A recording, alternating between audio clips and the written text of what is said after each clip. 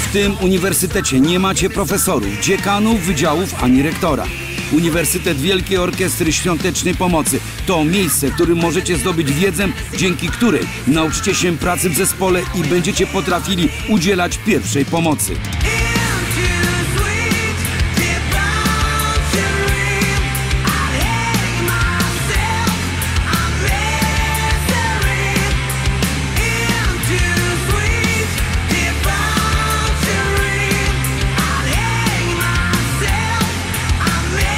Jedyny taki uniwersytet Centrum Wolontariatu Szadowo Młyn.